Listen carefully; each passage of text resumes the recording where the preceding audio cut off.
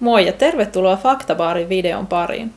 Helmikuun alussa sosiaalisessa mediassa levitettiin harhaanjohtavia meemejä perussuomalaisten puheenjohtajan Riikka Purran viiteistä. Faktabaari tarkisti, miten nämä meemit oli tehty ja ketkä niitä levittivät. Tällä videolla mä näytän, miten se käytännössä tapahtui. Faktabaari sai vinkin, jonka mukaan Riikka Purran viittejä oli leikattu ja liimattu yhteen Elokapinan ja Convoy Finlandin mielenosoituksista otettujen kuvien kanssa niin, että Purran viittien merkitys muuttui – Meemi, josta vinkki saatiin, on tämä. Vinkin tarkistaminen aloitettiin katsomalla, onko Puura kirjoittanut tällaiset viitit. Se tapahtuu kirjoittamalla Twitterin hakukenttään sitaattimerkkien sisään pätkän kuvassa näkyvistä teksteistä. Näin selviää, että Purra on kyllä kirjoittanut viitit, mutta meemeissä twiitit on irrotettu alkuperäisistä asiayhteyksistä.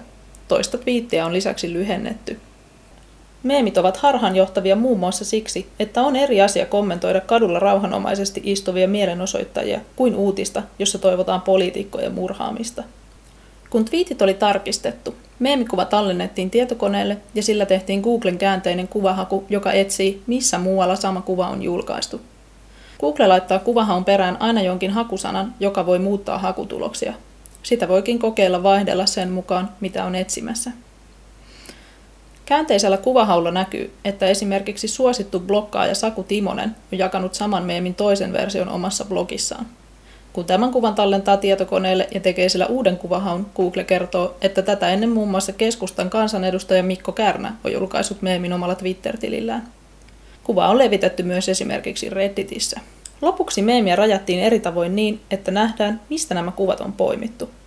Näin selviää, että tämä kuva on julkaistu muun muassa Ylellä ja tämä puolestaan on peräisin Iltasanomien artikkelista. Näillä työkaluilla myös sinä voit tarkistaa, miten jokin verkossa leviävä meemi on tehty. Kiitos kun katsoit video.